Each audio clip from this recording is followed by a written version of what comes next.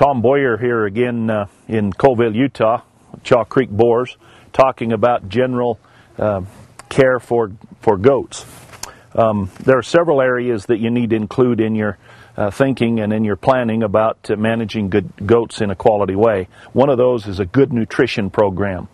Nutrition needs to include quality proteins, uh, energy, whether it's from fat or carbohydrates. It needs to include appropriate fiber and good mineral. In addition to that, you need to have a good health program. And that health program includes uh, proper vaccinations, uh, deworming, um, other um, exterior and, and uh, internal, in, external and internal uh, parasite control.